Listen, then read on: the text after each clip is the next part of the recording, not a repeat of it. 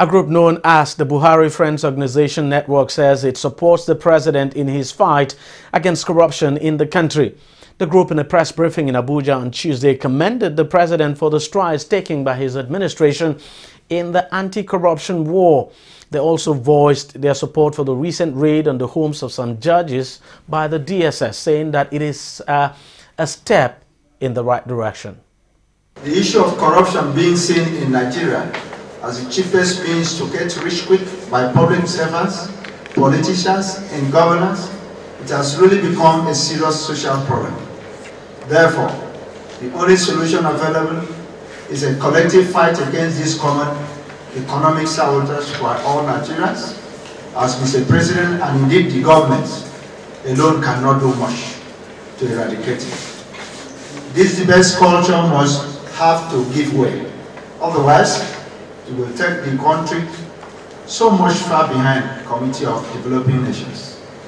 Another negative development we have also noticed is the recent corruption searchlight being on the judiciary, an arm of government that's supposed to complement the executive in the prosecution of the vulnerable corrupt public officers who have been found wanting. Yet this arm of government has been so uncooperative for years, therefore has made most known corrupt officials, including elected leaders, to continue in the economic sabotage, even with brazen impunity, as the judiciary usually compromised, thus making punishment for corruption a very difficult task.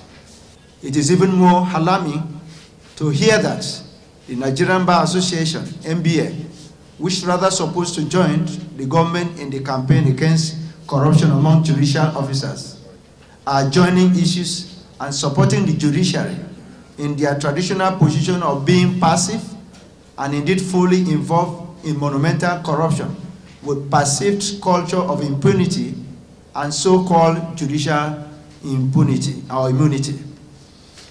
As far as we are concerned, we are indeed very supportive of the efforts of the anti-corruption agencies, especially the recent efforts and arrests carried out by the Department of the State Security Service, DSS.